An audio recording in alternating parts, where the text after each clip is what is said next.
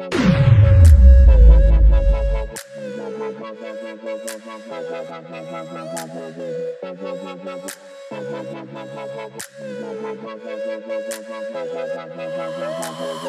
have to have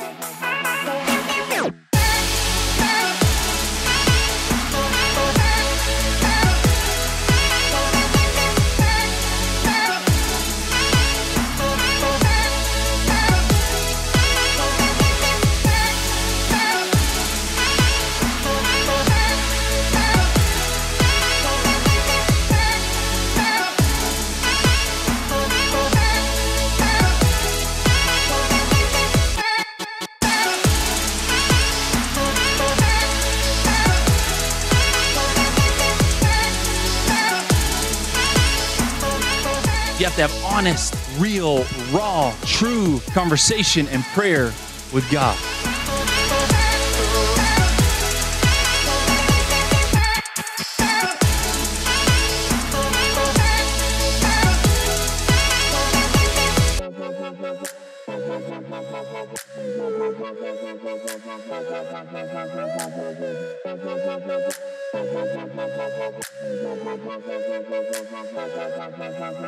You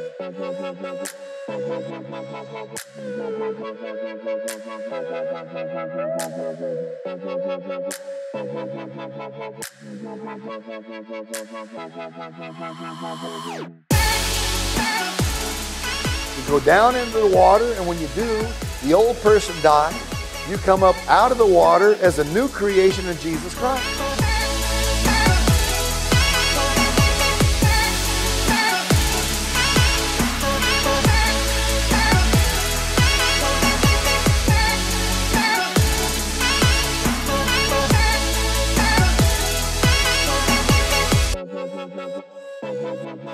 Hey, welcome to Church Experience. Thank you so much for spending part of your weekend with us. Now is a great time to grab your weeklies and head to your seats if you haven't already, because the service starts in 90 seconds.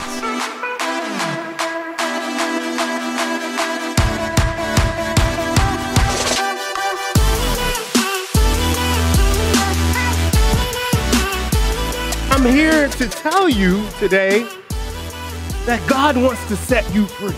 Oh, yeah. He wants to set you free.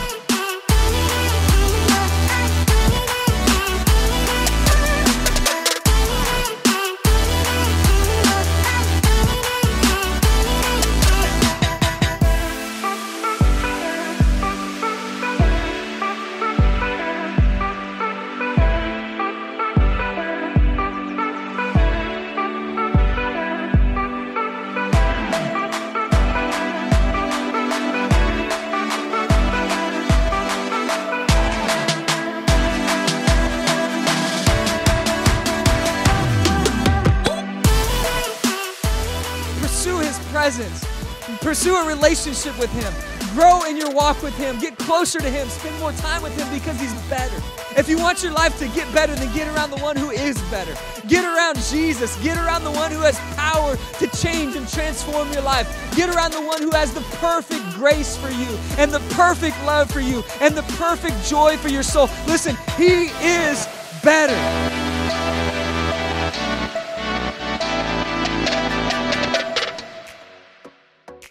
So much for spending your time with us today. We're so excited about today's service. We believe this could be the best and most impacting hour of your week.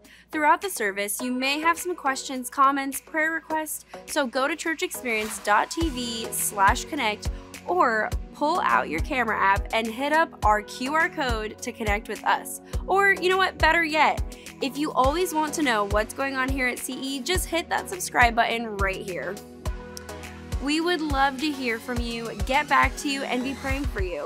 We're ready to dive in, so would you stand with me as we sing some songs of worship to Jesus?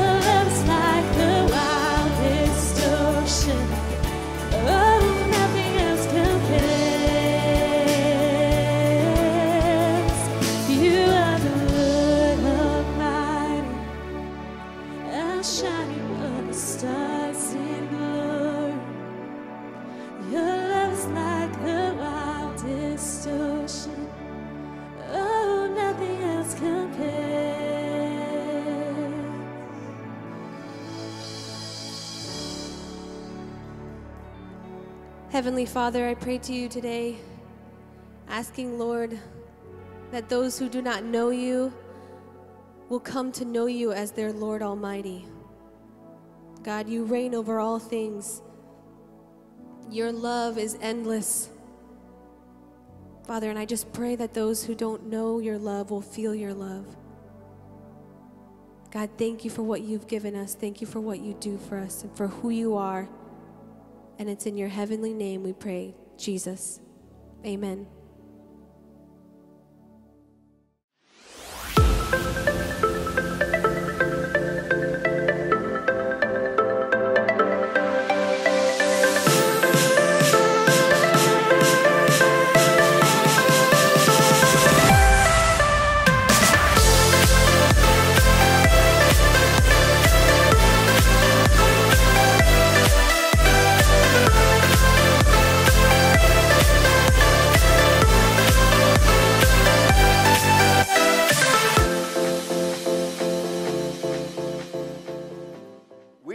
Finishing up our series called Better Decisions and Fewer Regrets.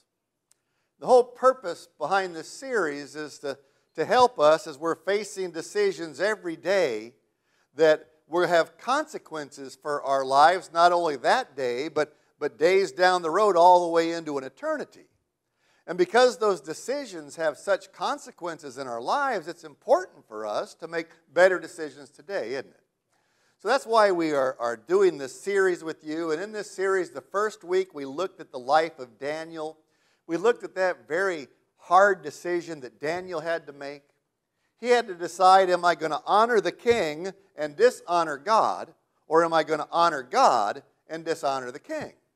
Oh, yeah, if I dishonor the king, they're going to throw me into a den of hungry lions. Well, he made the best decision. And because he made the best decision, God protected him from the lions, and Daniel had no regrets because of his decision. The next week, we looked at Matthew chapter 5, and we learned that it is not good to make decisions when you're angry, right? Uh, we, we realize that, that decisions that are made rash, uh, in a rash way, eh, deal with our emotions and our anger, they always lead to big regrets in our lives. So we learn not to make decisions you know, rashly out of anger or emotion, but to, to think them over, to, to make them peacefully in our lives.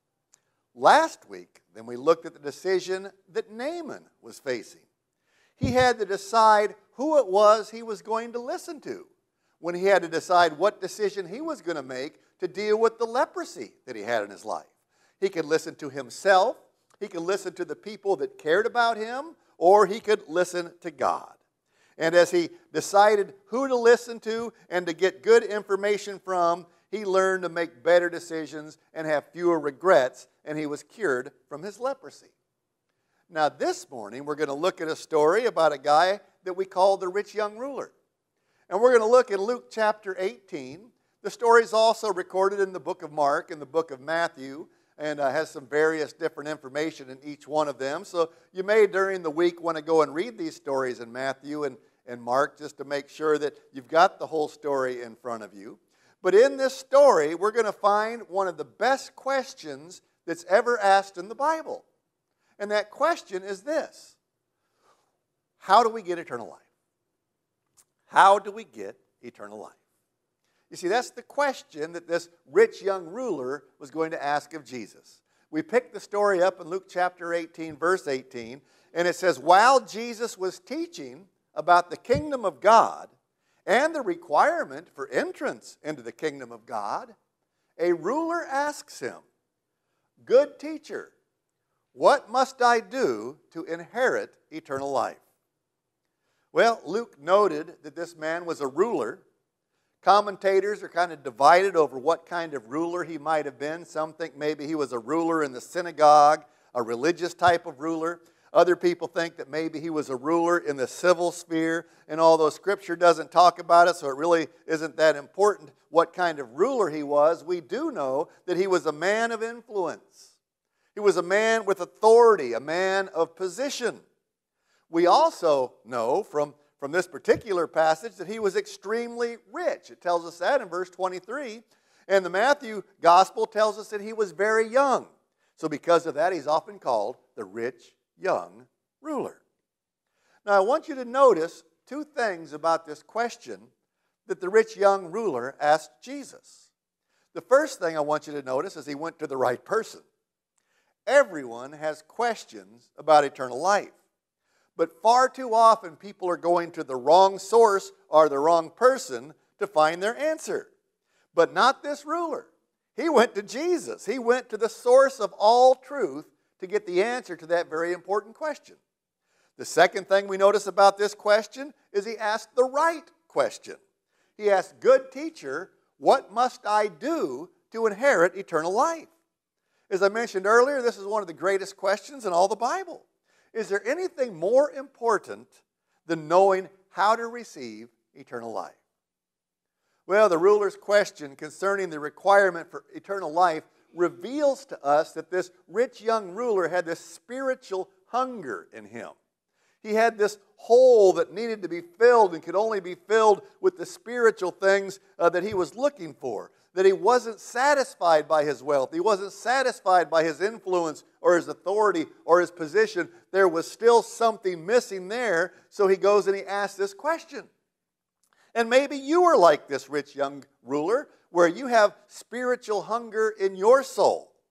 You're not satisfied with what you have, and, you want to know what the requirement is for you to have eternal life. So, who are you going to go to to help you find the answer to that question? The rich young ruler went to Jesus. He asked him, What do I do to inherit eternal life? Well, here's the response of Jesus to him. Jesus first challenges the ruler's address to him. If you remember, when he addressed him, he said, Good teacher. So in verse 19, Jesus says, Why do you call me good? No one is good except God alone. See, the ruler wanted to honor Jesus. He, he wasn't trying to, to disrespect him, he's trying to give him respect. Good teacher, you know, what do I do? So, why would Jesus react this way to this man? It surely isn't because Jesus is not good, it's because he knows this man very well. He knows that this ruler had a defective understanding of what goodness really is. We're going to see here shortly that the ruler thought he was good. And Jesus needed him to see that, that no one is good in comparison to God. So the ruler was making a mistake that, that many of us make commonly today, and that's to, to compare ourselves to, to other people. Well, compared to that person, I'm a saint, right? However, the ultimate comparison is not with each other, but it's to God, and, and no one is truly good when compared to God. So Jesus' response was to, to him, uh, All right, you ask the question, what do you do to have eternal life? Here's what you can do. You know the commandments. You know, don't commit adultery, don't murder, don't steal, don't bear false witness, honor your father and mother. Jesus lists five of the Ten Commandments. They came from the second tablet, the one that dealt with how we deal with other people. And it's kind of surprising to me that Jesus responded this way to him because earlier he had taught that, that interest into the kingdom of God is really by humble dependence upon the grace of God. But here it seems he's suggesting that you enter the kingdom of God by obeying the commandments. So when he is asked, How do you uh, have eternal life? His answer is, Well, you know, follow these commands. You can do that. And the next thing we're going to find is what the, the claim of this ruler was. The ruler's like, Great, I've done that. In verse 21, all of these I've kept since I was a boy. In other words, he said, I've kept all the commandments, so, so I guess I have eternal life. You see, this, this guy thought he was good. He believed that he had been able to obey all the commandments of God. And that's really why Jesus responded to him in verse 19 like he did, because, this young man needed to learn that, that no matter how good he thought he was, no one is good enough to inherit eternal life. So Jesus responds to him and gives him this command. He didn't correct him on his misguided belief that he'd been good enough. He didn't challenge him on his shallow understanding of what the law really is on these commands. Instead, he tells him this in verse 22 okay, well, if you've kept all these commands, there's one more thing that you need to do sell everything you have and give it to the poor, and you will have treasure in heaven. Then come follow me. Here, Jesus is, is masterfully responding and exposing this man's true idol, which was his wealth. He loved his riches. He enjoyed everything that money could buy, although he's got this spiritual vacuum in his life that caused him to ask the question about how he could inherit eternal life. Jesus knew that in order for him to inherit eternal life, he was going to have to set aside everything to follow him. Would this ruler be willing to get rid of the one thing that he loved in order to follow Jesus? Well, our series is on better decisions and fewer regrets. And boy, does this, this rich young ruler have a tough decision to make, doesn't he?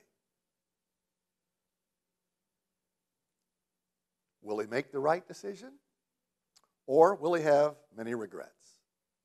He obviously is concerned about having eternal life, you know, in, in, one of the passages, it says he runs to Jesus and he falls on his knees and he asks, you know, what will it take for me to have eternal life? He really wanted it. You know, I'll be good, I'll, I'll work hard, I'll pay any price. Just tell me what it takes. And Jesus says, okay, if you want to know, here's what I'm going to need sell it all, get rid of it, give it to the poor.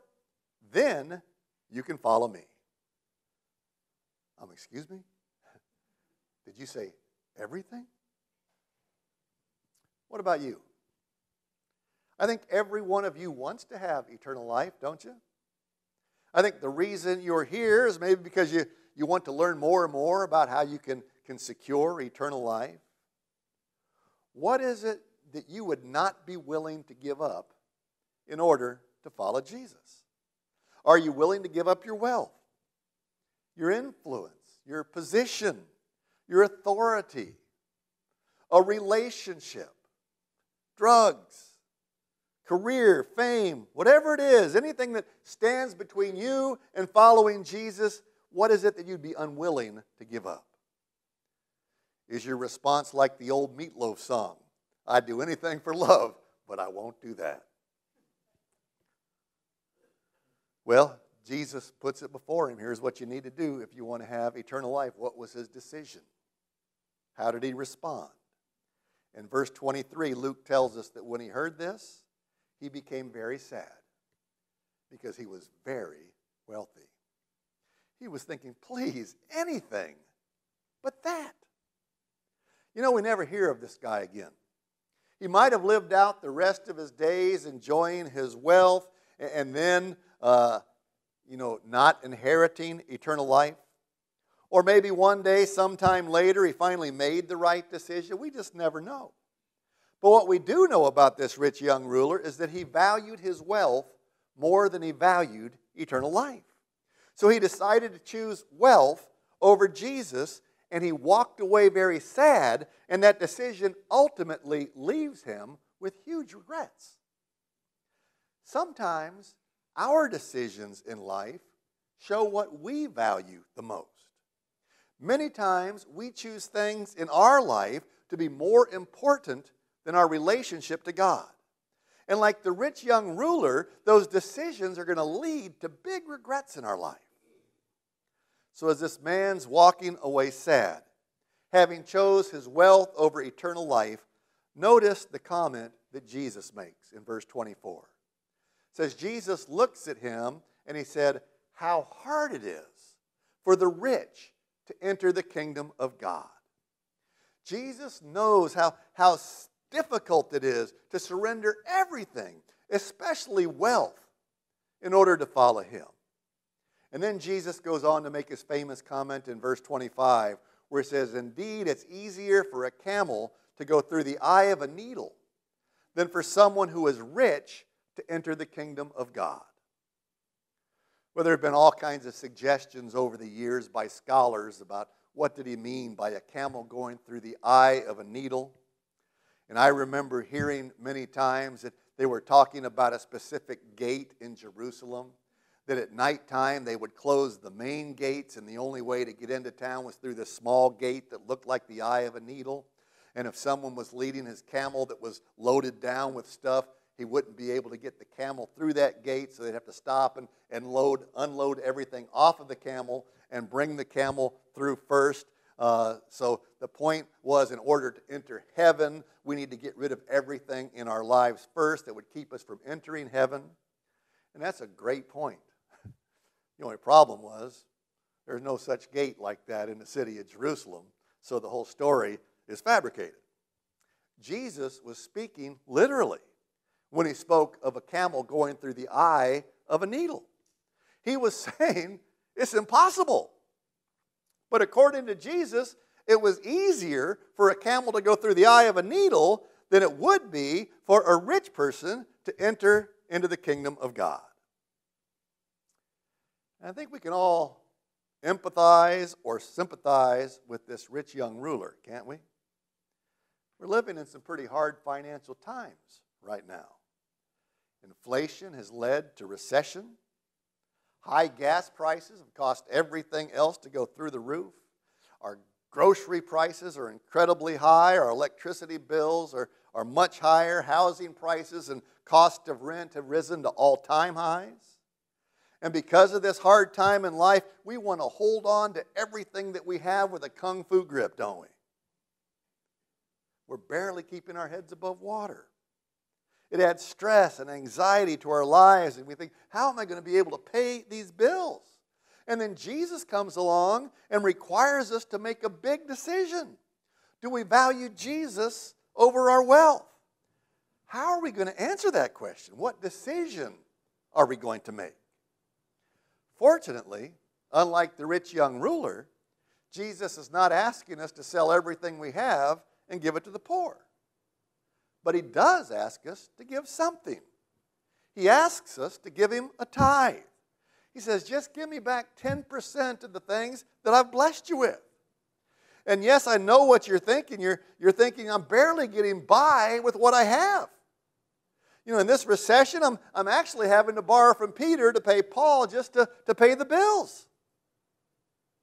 And then Jesus comes along and, and wants us to do this. How can I possibly give 10% when 100% is not making it right now? Well, I understand how you feel. I'm in the same boat. So all I can do is, is direct you to the promises of God in Scripture, where He asks us to make the decision to put Him above our wealth. He promises that if we are faithful in giving to Him, that He's going to meet our needs. And He's going to return what we give in abundance. In Luke chapter 6, verse 38, he describes it like this Give and it will be given to you. Maybe you remember the song we, we sing in church a lot of times. Good measure, pressed down, shaken together, and running over. Maybe you break that verse down, it makes a lot of sense. A good measure. You know, I open my kitchen drawer and I pull out those four measuring cups that are held together with a little ring. I don't know why they do that, they get in the way of each other. But, but anyway, you've got the four measuring cups, it's got little ones all the way up to the big ones. If you want a good measure, you use the big one, right? Maybe you could think back to the time of the country store where maybe they had a big barrel of candy and you had that big metal scoop and you, know, you got just as much as you possibly could. And that's the measure that God uses when He is giving back to you, according to this verse. It says, pressed down. Maybe you've loaded things into a box and the box is full, but there's more stuff to put in it. So what do you do? You, you try to press the stuff down in there so you can get more in there. It says shaken together. Maybe you've got a jar that's filled with beans or something and, and you shake it so it settles down so you can get some more in there. It says it's just running over until it's poured out into your lap. These are the words that express the way God gives back to us when we give to Him. He says, For what measure you use is going to be measured back to you. You know, a lot of times I'll do weddings for, for family members or people in the church, and I don't charge them to do those things. And, and sometimes they'll give me a check anyway. And what I'll do is I'll take that check and put it in a wedding card and give it back to them. And what they finally realize is the size of their gift from me is going to be determined by what they gave to me. Because whatever they gave to me is what I'm giving back to them. The measure they use is how it's measured back to them. So let me ask you this question. And I want you to answer this question to yourself as honestly as you can. Do you believe the Word of God to be true? Do you really believe the Word of God to be true? If you do, then the decision of whether you're going to value Jesus above your wealth is really a no brainer.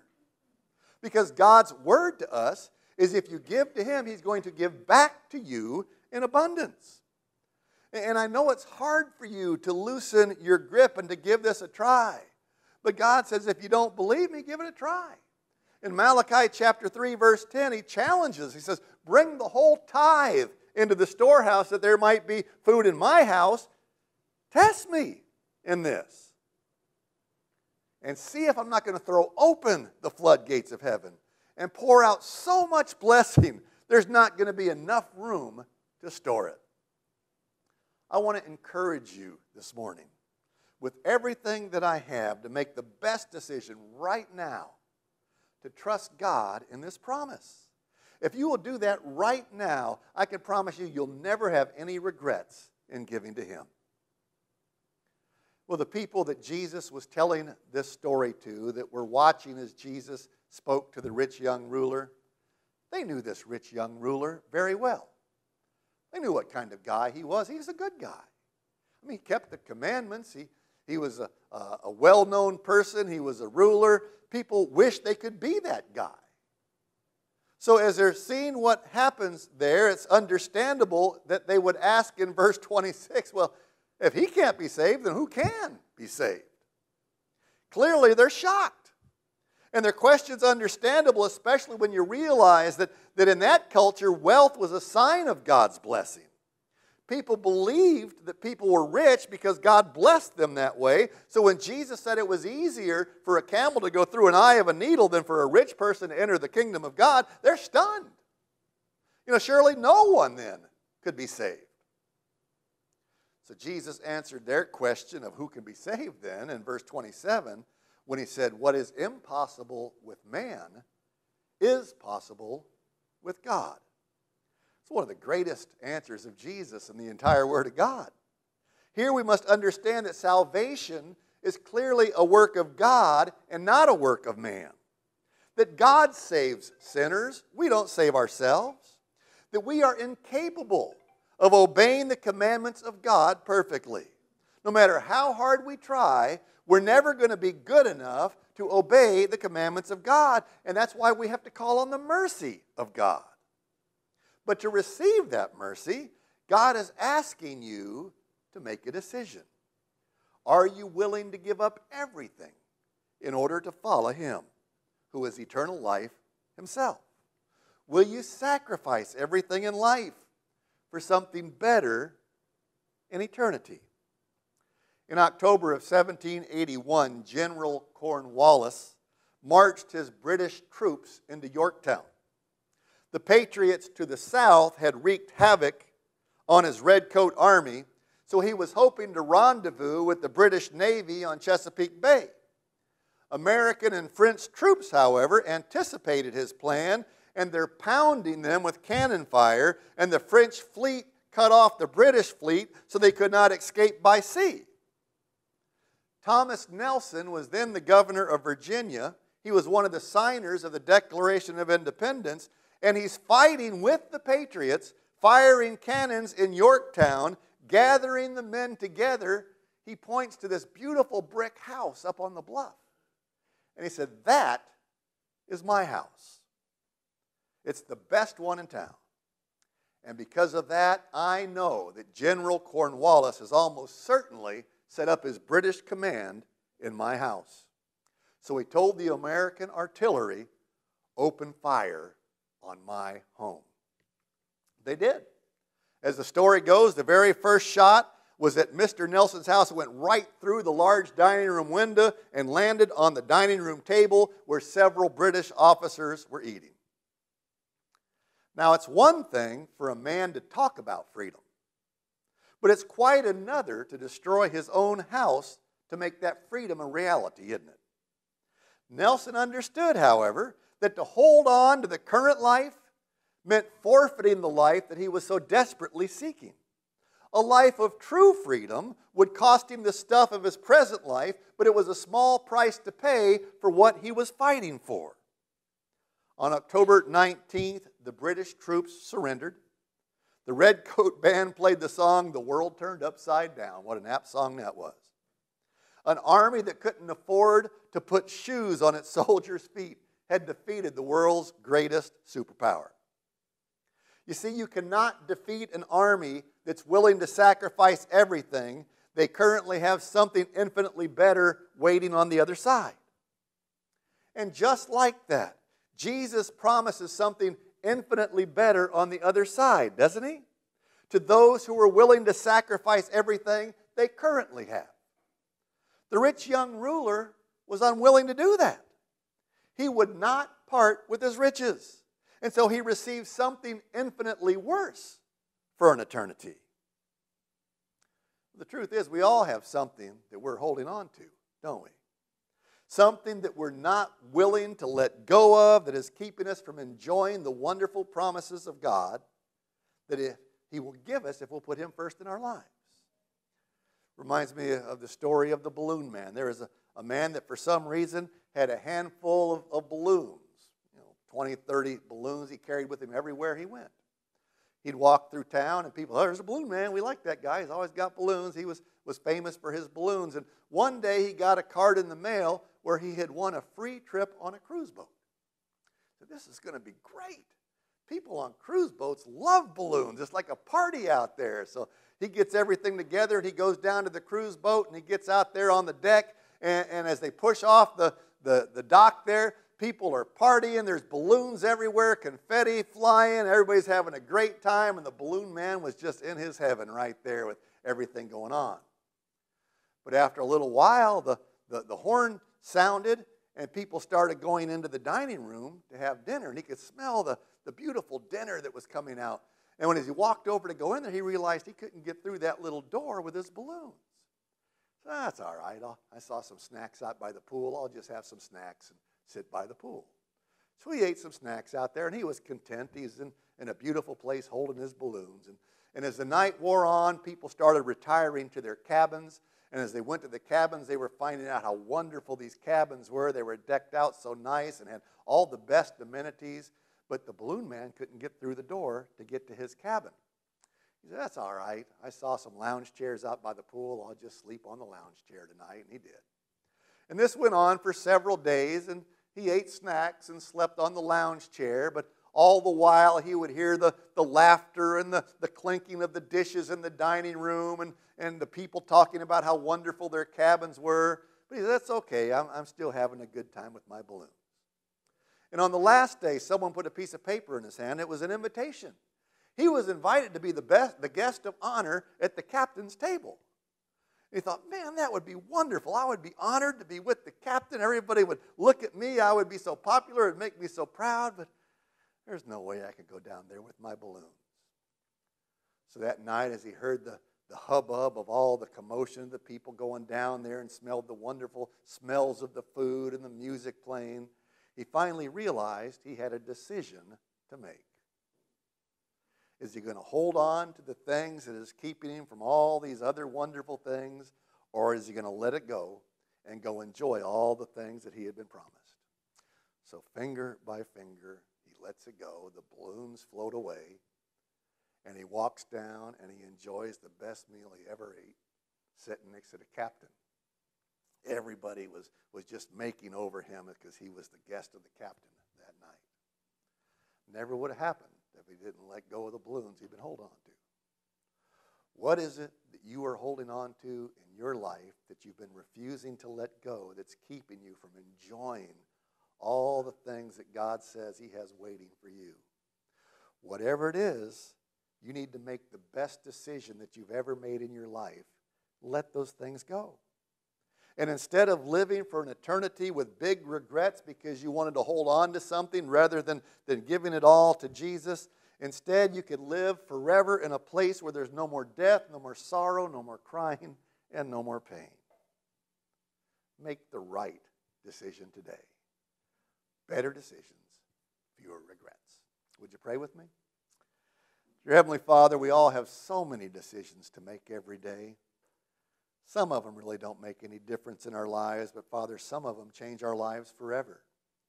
So, Father, we just ask that you would help us to make those decisions based on putting you first in our life. So, whatever it is, Father, that, that anyone that's in here today is holding on to that's keeping them from their walk with you, keeping them from the blessings and the eternity that you've promised them, Father, put it on their heart to begin opening their fingers and to, to let go whatever it is they've been gripping so tightly. Father, if there are people here that have never made the decision to accept you as their Savior, Father, we just pray that you would touch their hearts this morning, that you would just give them a little nudge to, to make that decision today so that their eternity is promised, the blessings are abundant, and they live forever in the joy of the Master. We pray this in Jesus' name. Amen.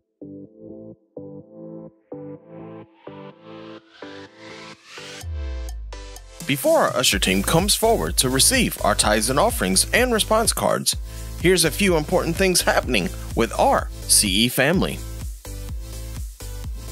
Each week, I get the privilege of spending time leading Kid Experience. I love seeing the kids sing songs to Jesus as they're dancing around. Or hear them process what they've learned in small groups with a leader that cares about them. Yes, I also know as they learn the Bible stories and verses that these lessons are taught and the concepts, they will always stay with these kids throughout their life. Thank you to so many of you that bring your kids to KE each week, and to those of you who serve on the KE team, and for those of you who make this ministry financially possible. Investing in the next generation is the best. It really is. And as our KE kids say, KE is a place to be. We all need an inner circle of friends who keep us accountable for being spiritually healthy. One of the best ways to build great friendships within CE is to join a life group or a serving team. There are many ways to get connected, and we would love to help you find the best fit for you. To find out more, check the life groups or the serving teams bubble on the back of your response card, and we will be in touch with you. Life is so much better together. As our ushers come forward to collect our response cards and receive our tithes and offerings, we all desire to make a difference and invest our lives and resources into causes that changes lives. Thank you for the impact that you have made through Next. Because of your generosity, we have been able to bless those in need, complete much needed building renovations, invest in the next generation, and help launch a new CE campus. And this is just the beginning. Thank you for being on mission with us to help more people experience a full life in Jesus Christ.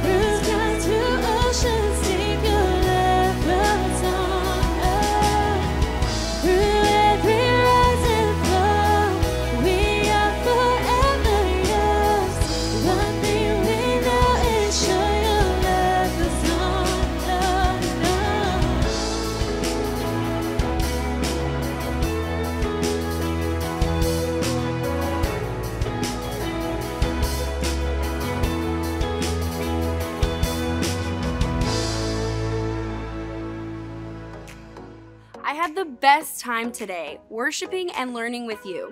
You may have made a commitment during the service, and we'd love to have you reach out to us.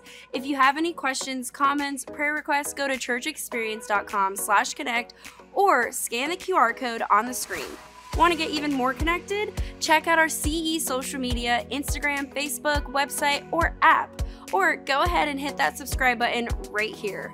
What a great day it's been. Can't wait to see you next week.